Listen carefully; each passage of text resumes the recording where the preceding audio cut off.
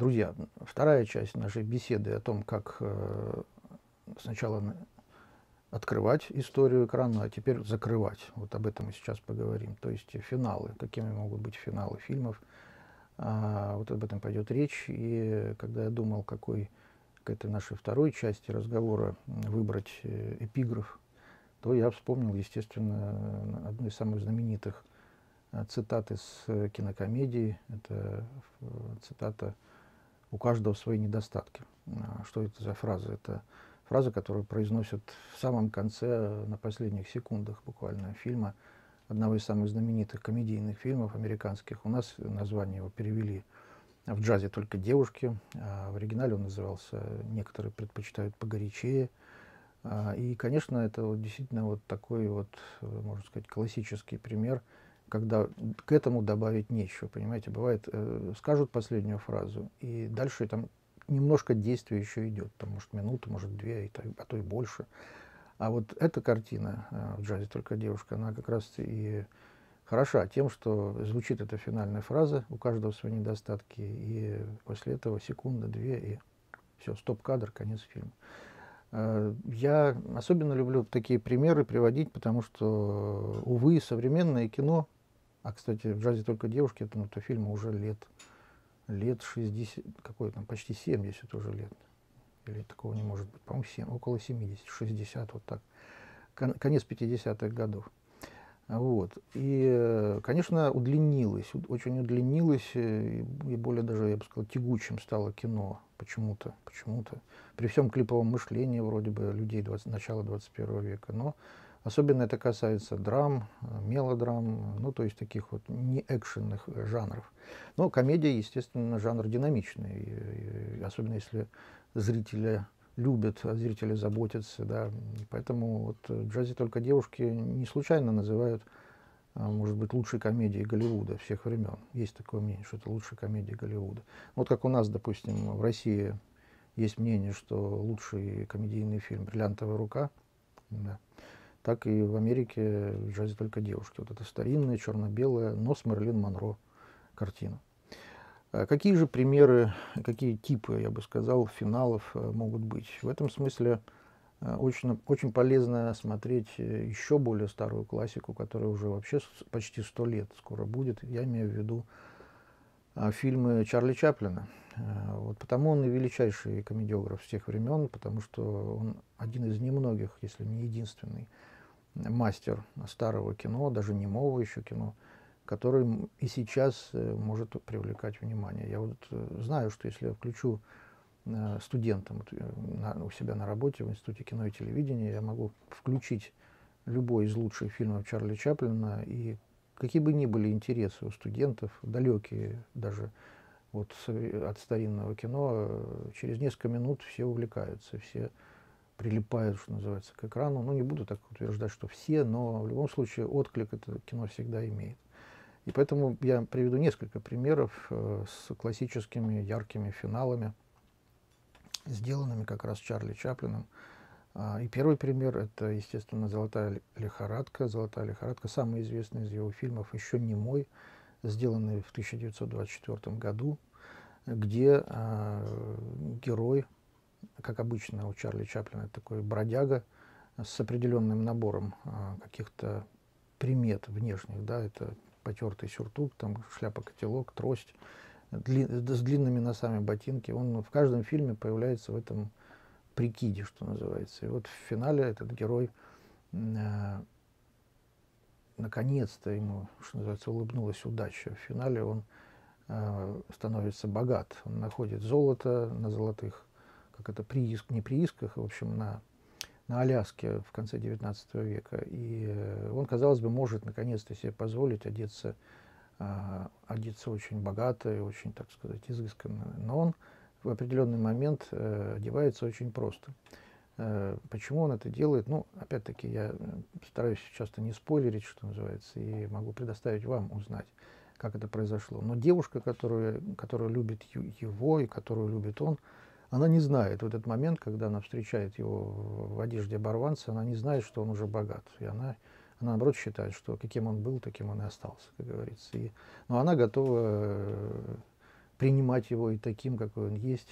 И это самое ценное для героя в этой финальной сцене, когда он оборванец, ну, уже теперь псевдооборванец, и видит, как горячо рада этой встрече эта девушка после долгого расставания. И поэтому финал особенно позитивен и особенно, скажем так, одновременно и комедиен, и мелодраматичен. Э, и мы понимаем, что вот это и есть настоящая цена этим отношениям. Вот, как бы полюбить его богатого, наверное, многие бы смогли бы, а вот бедного э, только эта самая героиня.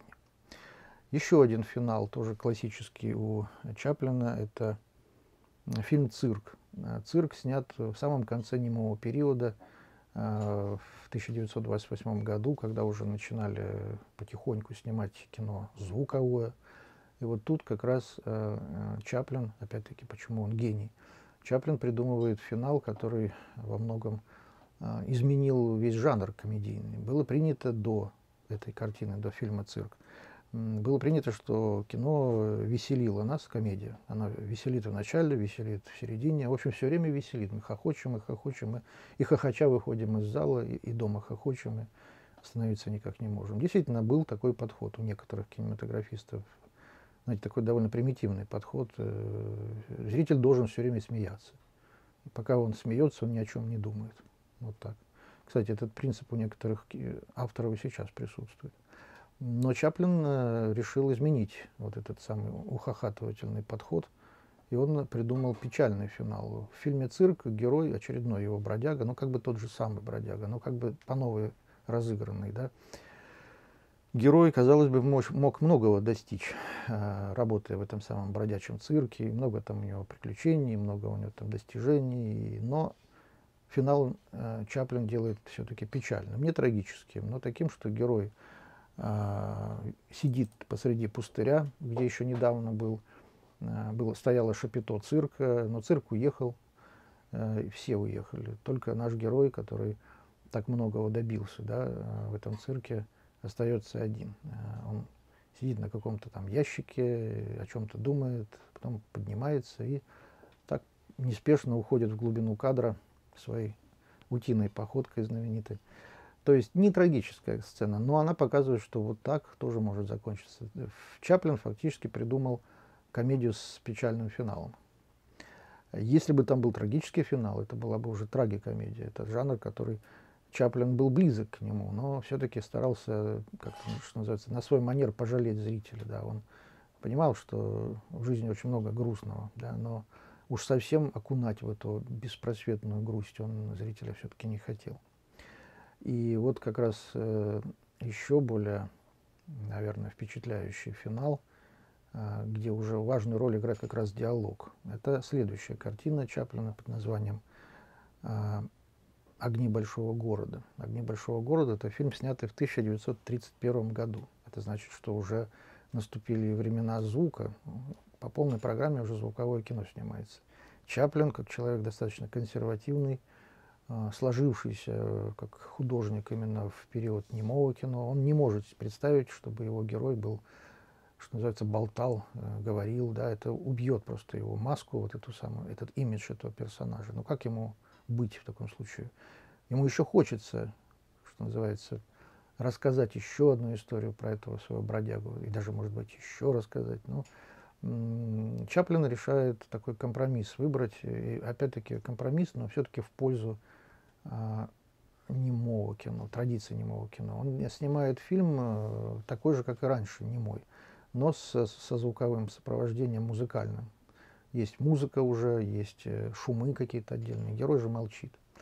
И э, в этом фильме довольно, как обычно, опять же, можно сказать, у Чаплина такая мелодраматическая история. То есть э, герой, очередной бродяга, он весь фильм помогает девушке, которая торгует цветами на улице, прямо уличная цветочница, слепой девушке, которая, в общем, очень благодарна этому незнакомцу. Она считает, что он очень богатый, раз он так ей помогает. На самом деле этот герой, там, что называется, последние там, гроши как-то умудряется ей отдавать, чтобы, ну, с одной стороны, он создает имидж э, действительно состоятельного человека, с другой, он действительно ей хочет помочь. Но самое главное его помощь, когда ему случайно перепадают деньги большие, он все эти деньги отдает ей на лечение, чтобы она смогла э, восстановить зрение. И это действительно происходит. А сам он в это время, значит, оказывается далеко и надолго в заключении, потому что его обвиняют в том, что он якобы эти деньги украл и так далее. Ну, не буду в подробности вдаваться, вы посмотрите этот фильм, я надеюсь. Я так долго рассказываю о Чаплине, так хочется, чтобы вы его полюбили, как люблю его я. Ну вот, и э, вот финальная сцена, одна из самых знаменитых, наверное, вообще в истории кино, классическая еще и в связи с этим диалогом, предельно простым и коротким диалогом, она, они наконец встречаются. Она его никогда, как вы понимаете, не видела. Но она случайно прикасается к его руке, когда они заговорили. И тут она понимает, что этот оборванец и есть тот ее благодетель. И она говорит, вы, этот титр даже не появляется. А мы просто видим, как она это говорит. Она говорит, ю, он кивает в ответ и говорит ей, теперь вы видите, и она говорит, теперь я вижу. Ну, титр появляется. Теперь вы видите, теперь я вижу. Видите, такой двойной смысл в этом диалоге возникает. Вот это и есть великая простота, на мой взгляд, которая, я думаю, и сейчас вполне актуальна. И я, конечно, всегда радуюсь, когда наши студенты, не только наши, вот все, кто снимает кино, и начинающие любители вот, умеют э, использовать очень простые средства для того, чтобы завершить историю. Да, они не растягивают, никак это не размазывают кашу по тарелке, ну и так далее. Ну, раз уж я так долго говорю о Чаплине, наверное, последний на сегодня приведу пример. Это следующая картина после э, «Огней большого города. Новые времена». Это фильм, в котором, э, который снят в 1936 году, 1936 год. Это уже тем более звуковое кино вокруг него, вокруг Чаплина. Но сам Чаплин опять снимает немое, представляете?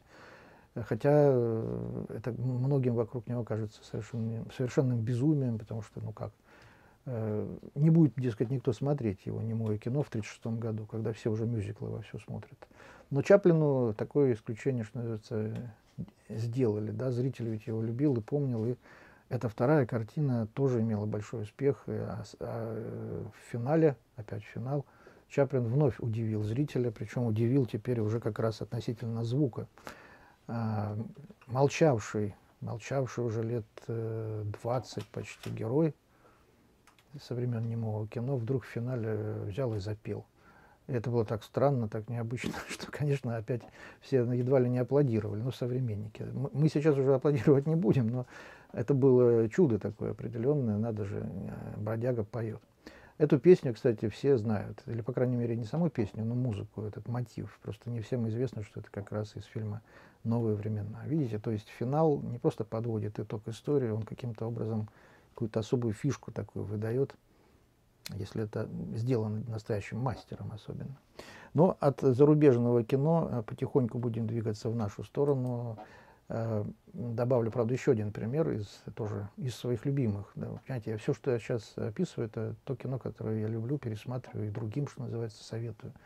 Один из моих любимых фильмов, э, тоже американский, это такая трилогия под названием «Назад в будущее». «Назад в будущее» — фантастическая комедия, где старшеклассник американский с 80-х годов вместе со своим другом, самодеятельным ученым, таким полу, полубезумным, кто-то скажет, э, путешествует по времени, туда-сюда, то в будущее, то в настоящее. Этот ученый придумывает машину времени в виде гоночного автомобиля. Ну, я думаю, всем достаточно известна эта история. Вот помните, там чем заканчивается сама трилогия. Она заканчивается не просто тем, что герой вернулся в настоящее. Там есть одна как бы недоговоренность. То есть герой-то вернулся, и все вроде бы нормально, но его друг, вот этот ученый, он остался в прошлом, потому что на, надо было кому-то подтолкнуть эту машину. ученый подтолкнул и остался в 19 веке. А герой здесь, здесь, то есть в 80-х. И, и, и вот его это, конечно, очень, так что называется, коробит. Щемящая такая тема, что, эх, док, жалко, что вы там остались. Он, конечно, там вполне счастлив, наверное, там нашел себе жену любящую там в 19 веке, но вот они расстались, друзья. И вот тот момент, когда герой стоит и печально думает о том, что они никогда не встретятся, тут-то и появляется этот самый док, на уже теперь не на машине времени, а на паровозе времени. То есть он паровоз старинный превратил в машину времени. Это, это тоже, конечно, очень впечатляющий, яркий, спецэффектный, вообще такой улетный, в буквальном смысле улетный эпизод. Поэтому я, наверное, и называю этот фильм одним из своих любимых. Когда меня спрашивают, какой у вас любимый фильм, я говорю «Назад в будущее». Ну, если не считать «Бриллиантовую руку», и других некоторых, э, другие некоторые фильмы. Последний пример я вам приведу, знаете, такой комбинированный, где и начало очень важно, и финал очень важный, и это наше, наше советское кино, тоже уже достаточно давнее, почти ну, не полувековое, ему уже юбилей, но около того. Это фильм конца 70-х годов. Это такая молодежная мелодрама. Молодежная мелодрама под названием «В моей смерти прошу винить Клаву К». Такое странное, длинное название «В моей смерти прошу винить Клаву» и «К» большая точка. Вообще это напоминает, извините, такую как бы записку. Человек решил покончить с собой и некую Клаву обвиняет в этом. Э, такая довольно опасная, суицидальная да, э, картинка. И, э, наверное, в наши дни бы сейчас так, так бы фильм ни за что бы не назвали. Но в советское время, как вы понимаете, были какие-то другие критерии, получается. Тем более, что, естественно, никто там не покончит с собой. Наоборот, этот парнишка, который с ума сходит из-за некой клавы, он осознает, что на клаве фильм, на клаве жизни, на клаве фильм клином не сошелся. Да? Жизнь и без клавы возможно. Но там такая история, знаете, в общем, можно сказать, классическая мелодрама потому что там э, показаны три возраста этих персонажей. Э, мальчик Сережа, э, очень капризный мальчик, значит, не хочет идти в детский сад. И вот начальная сцена, я хочу как раз начальную и финальную тут вам отметить. Начальная сцена это как приводит ревущего мальчишку четырехлетнего в детский сад, такой типичный детский сад. И вообще картина неважна, 40 лет назад это или сейчас, эта ситуация могла один в один произойти в наше время. Вот так вот. Ситуация, которая, в общем-то, узнаваемая в наше время. Да? Мальчишка не хочет идти в детский сад, он не хочется ему туда. И тогда воспитательница, такая типичная воспитательница, смотрит на него и, и говорит, ну что ж, придется звать Клаву, говорит она. И вот эта фраза в самом начале фильма, что за Клава, почему звать Клаву? И появляется девчонка, и, в общем, эта клава, понимаете, она является таким, что как это, катализатором спокойствия, так можно сказать. То есть она посмотрела своими глазищами на этого зареванного мальчонку, и он перестал плакать. Но, увы, с ним, как это говорится, импринтинг произошел. То есть э, впечаталось в него, что Клава – это надежность, это спокойствие, это, ну и самое главное, она для него вот стала таким вот женщиной его жизни. Четыре года, да, а вообще в фильме показаны три возраста персонажей. Вот детский сад, когда он полюбил, как ему кажется, на всю жизнь Клаву. Потом средние классы, когда им лет 12. И, наконец, им уже 16 лет, они школу заканчивают. И вот э, первая сцена, это вот это как раз определяющая всю историю в детском саду. Финальная сцена, когда после множества уже как бы взаимоотношений, каких-то ситуаций, наш герой вдруг понимает, что Клава его вообще-то никогда не любила. Это он себе в голову вбил, что он, он и есть ее избранник. А любит она другого, совершенно на взгляд нашего героя, не стоящего того. Вот. Он парень хоть куда. Он перестал быть плаксой, он стал первым парнем в классе. Но она любит ботана какого-то, понимаете? И он ничего с этим не может поделать. В этом смысле, знаете, какой любопытный тут может пример возникнуть? Это фильм «Социальная сеть». Вот у Дэвида Финчера есть фильм про основателя Фейсбука, ну там не Facebook, по-моему, там по-другому называется. Ну, в общем, подтекст такой, что парень, простой американский э, компьютерщик, создал целую, значит, э, целый мир, вот этот вот, э, социальную сеть, условно говоря, Facebook, только ради того, чтобы девушка, которую, которую он любит, добавила его в друзья. А девушка не хочет его добавлять в друзья. Это же, ну как, как после этого жить? Как можно быть миллиардером после этого? Вот такая вот примерно, конечно, с поправкой на наши советские времена история и в клаве, да, в клаве К которая не любит нашего героя. И вот в конце, в самом конце, он должен понять, что надо жить, как-то жить и без Клавы. Он уже кидается в другую крайность. Он пытается там объясняться в любви подруге Клавы, хотя она понимает, что он ее не любит, и он сам понимает, что он ее не любит. И вот там замечательно есть диалог финальный, когда он э, смотрит на нее, на эту подругу. Э, он говорит ей, э, я люблю тебя. Она отвечает, так не бывает. Он говорит, бывает она ему говорит, ты всегда будешь любить Клаву. Тут он уже отвечает, так не бывает. И она ему говорит, бывает. После этого они уходят, и звучит душераздирающая музыка. Не преувеличиваю, так говорю. А, и вот финал, понимаете, да, а, этот диалог определяет все, что будет дальше. Действительно, он будет любить Клаву, но уже жить без нее. Вот такой вот финал, по-моему, очень важный для, хоть для мелодрамы, хоть для какого-то другого жанра, я имею в виду важный с точки зрения того, что надо поставить точку и надо дать шанс герою двигаться дальше. Спасибо, друзья, что слушали меня или смотрели на меня. И самое главное за то, что, надеюсь, то, о чем я говорил, вам как-то пригодится, может быть, как зрителям, а может быть, как кинематографистам. Всего доброго.